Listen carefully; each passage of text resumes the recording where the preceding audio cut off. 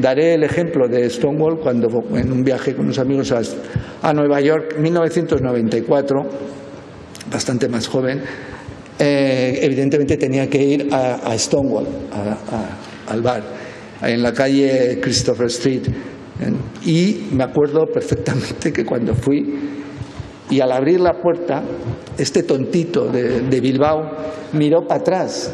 pero ¿por qué mire para atrás? Por si acaso alguien me veía entrar y dices, pero tonto, que estás en Nueva York, ¿quién te va a conocer en Nueva York? Pero eso era la sensación de opresión de, que vivíamos de una forma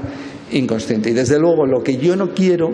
es que vengan vientos que hagan que niños, que niñas no puedan vivir, que no tengan que vivir en libros, ni en películas, ni en series su realidad que está muy bien también, porque eso nos, nos hace crecer. Evidentemente, que tengan los libros como amigos, que tengan eh, el cine como una forma de crecer, pero no como una necesidad porque no puedan vivir su vida, sino que los libros les ayuden a, ser mejores y a vivir pero no como una necesidad. Y por eso es por lo que es tan importante seguir eh, luchando, seguir avanzando, no dar nada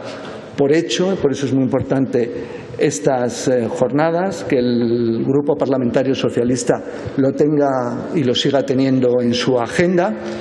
Y en ese sentido también es importante que, que gente también más joven sea también consciente y traslade ese mensaje de que es preciso seguir luchando, seguir avanzando y seguir siendo cada uno como somos, porque lo contrario, yo siempre he dicho, los que hemos tenido algún momento difícil o enfrentarlo, y desgraciadamente todavía hay mucha gente que enfrenta momentos difíciles, que todavía eh, no puede vivir su vida, y estamos en 2024 y con leyes promulgadas, no puede vivir su vida o libremente en el ámbito familiar, o se la vive en el ámbito familiar, quizá no en el laboral, depende de qué ámbito laboral, en el ámbito social, en, distintos. Si eso todavía existe, es que todavía tenemos que reivindicar, reivindicar y, por supuesto, eh, disfrutar, como también decías. Esta semana es de disfrute, pero también un poco de, reivindicación. Y lo que es de reivindicación son los 365 días. Y lo que decía, no quiero, y por eso es tan importante, y así que prometo de terminar, porque todos los que hemos tenido, y eso también lo, refiero alguna vez, esos momentos y hemos tenido que hacer frente o no nos hemos podido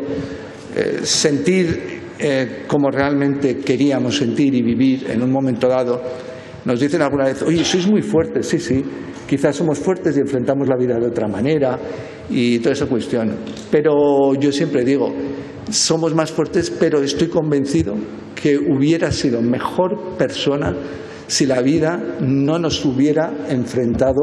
a ese tipo de desafíos. Soy más fuerte y soy buena persona, también lo tengo que decir, pero sin duda alguna hubiera sido mucho mejor persona si hubiera tenido las posibilidades de vivir mi vida desde el principio. Y por eso quiero